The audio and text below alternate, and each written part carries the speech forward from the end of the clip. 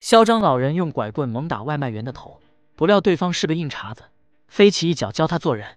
九月四日，在上海街头发生了令人愤怒的一幕：一名上了年纪的老人拿手里的拐杖去敲打外卖员，还不停用手指指点点，但外卖员并不打算理他，只是低头在手机查看订单。等他骑上电动车准备离开的时候，老人突然情绪激动，拿起拐杖就向外卖员身上砸去。外卖小哥停下车来，想要跟老人理论。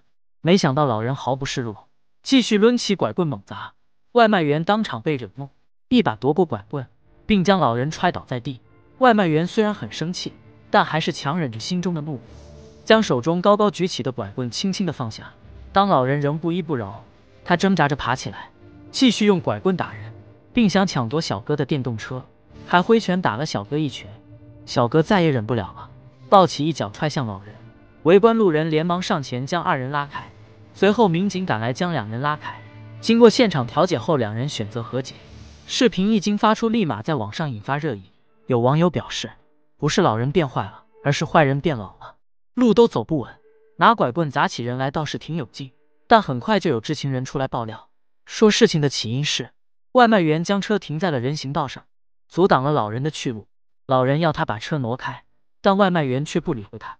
老人急了，这才拿起拐棍打人。那么大家觉得这件事怪谁呢？评论区踊跃留言，我们下期再见。